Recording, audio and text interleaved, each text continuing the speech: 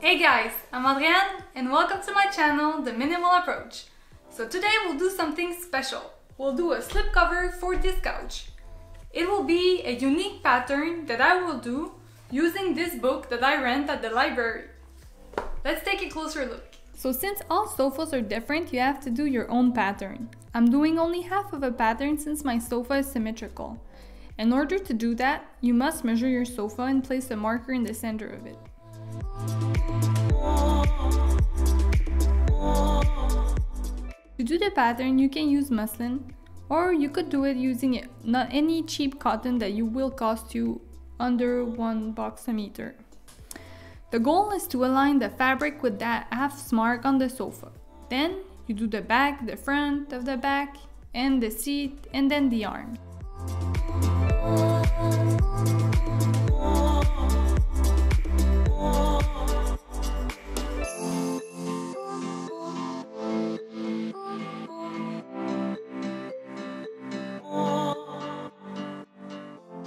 It's my first experience doing a project using canvas and it is pretty heavyweight and it's 100% cotton opaque. I struggle after I washed it to make it all nice and neat to prep it for the pattern.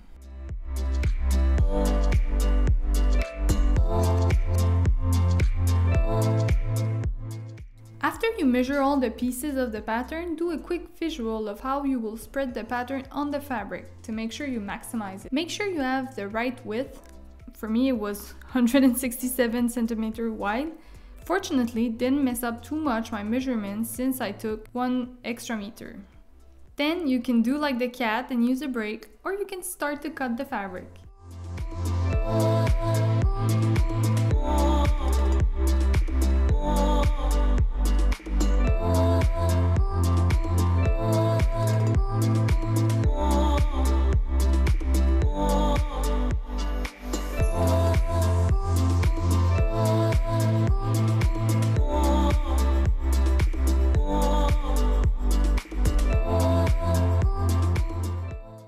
This cat is high maintenance.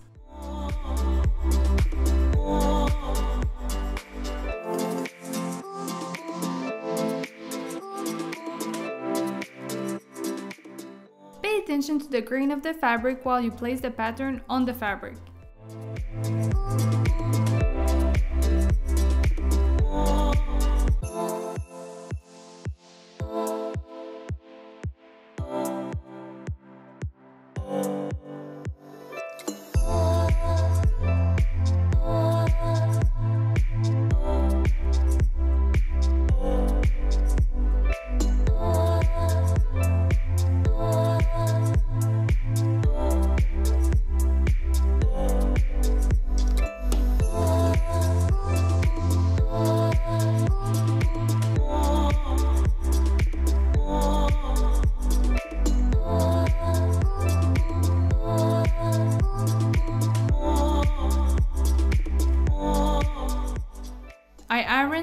Pieces before assembling them. Start placing the back and the arm to assemble them and see where to do the seams.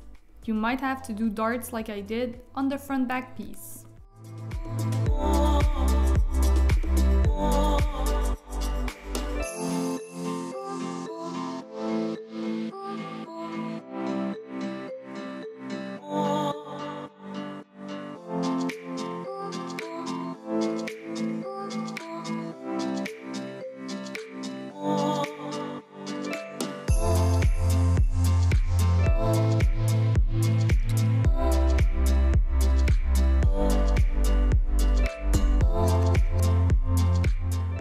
Quick tip, never pin your fabric like this.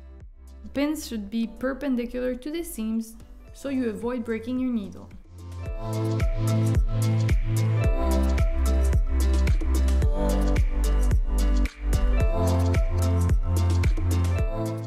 Don't forget to do a back stitch.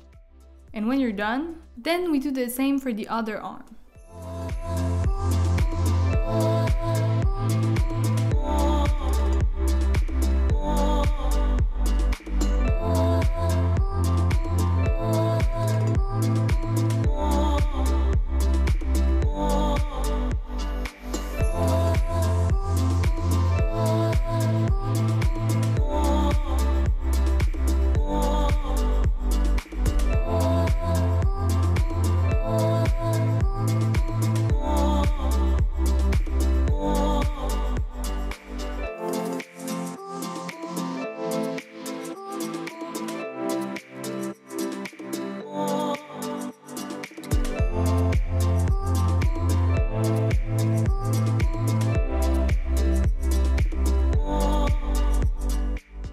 Make sure you have enough fabric to do the finishing. And I suggest you mark with a chalk where your seam should be. It helps to know where you're at with the machine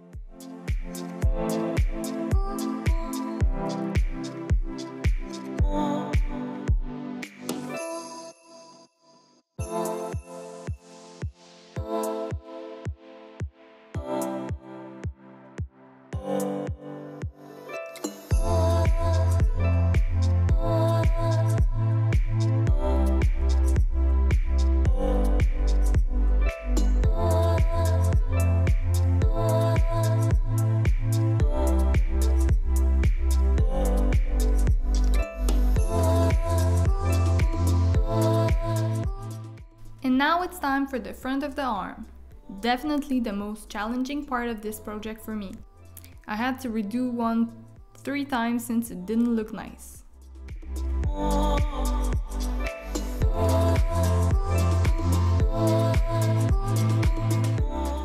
The next piece to assemble is the skirt in front of the sofa. So here it is. The slipcover is done. The result is good for a first time and I'm pleased with it. But it's not totally done. Now it's time to do the boxed edge cushions. First off, cut two top panels and add 1 inch for seam allowances.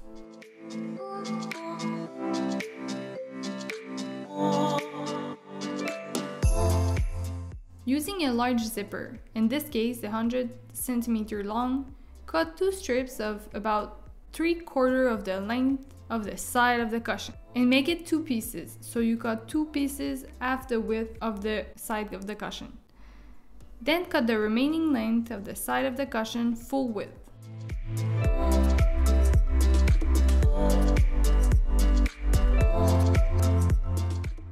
Using the half width pieces, sew them together at the end and then do a fold where they need. Change your presser foot for the zipper one. Make sure the zipper teeth or the, in the middle of the fabric. Pin one side of the zipper on one piece of fabric.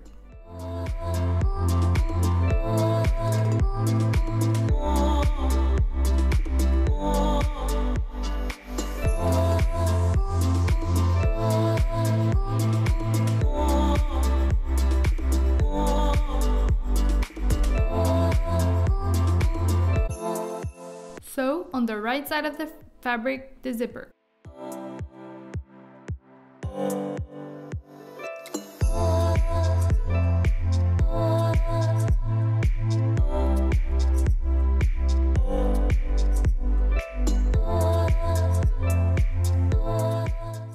The same for the other side.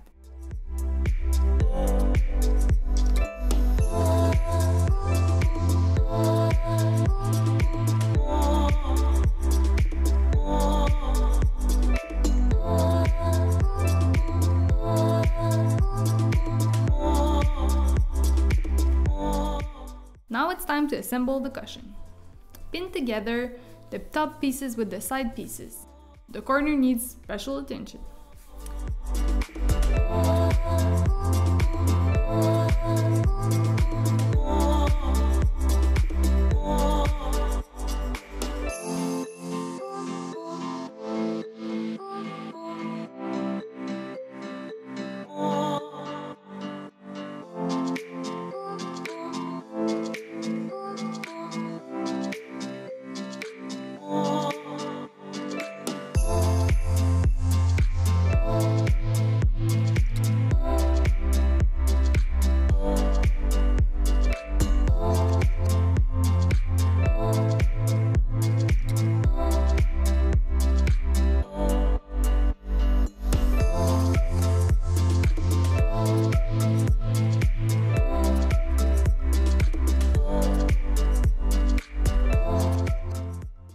Sew this, you can sew the other side piece and then you'll finish your cushion.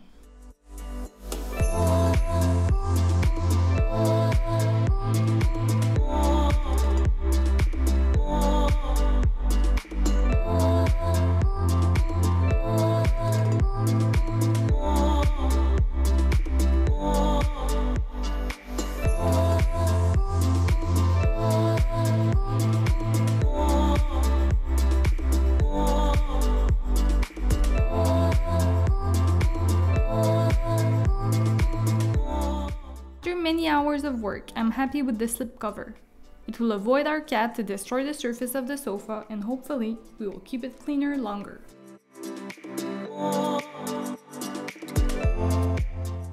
So this is it for today's video. I hope you guys enjoyed and if you did, give it a thumbs up. If you like the channel so far, please subscribe and I'll see you in the next video.